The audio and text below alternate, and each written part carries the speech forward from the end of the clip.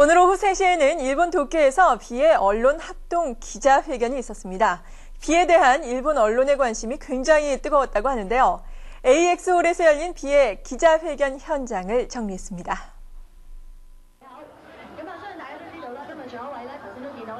오늘 오후 3시 일본 도쿄의 AX홀에서는 비의 언론 합동 기자회견이 있었습니다. 기자회견이 열린 AX홀은 NHK 본사와 요요기 경기장 옆에 위치한 중급 규모의 홀로 비가 지난해 11월 팝 아시아 2004 공연을 한 곳이기도 합니다. 기자회견에는 TV 카메라 10여 대와 사진 기자 30여 명이 모여 뜨거운 취재 열기를 보였습니다. 원래 3시 예정이었던 기자회견은 조금 늦게 시작됐고 먼저 비의 앨범을 프로듀싱한 가수 박진영이 나와 비를 소개했습니다.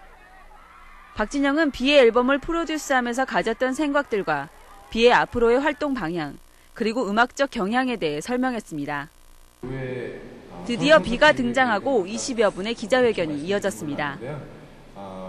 비는 미국의 마이클 잭슨, 일본의 아무로나미에게 영향을 많이 받았다고 말하면서 특히 마이클 잭슨에게는 춤 영향을 많이 받았다고 밝혔습니다. 그리고 기자회견 중에 간단히 자신이 배운 일본어를 선보여 기자들에게 박수를 받기도 했습니다. 비는 오늘 쇼케이스에서 단순한 춤과 노래가 아닌 한국에서 하던 콘서트와 같이 다양한 이벤트를 보여줄 예정이라고 얘기했습니다. 최선을 다하겠다고 각오를 다지는 것도 잊지 않았습니다.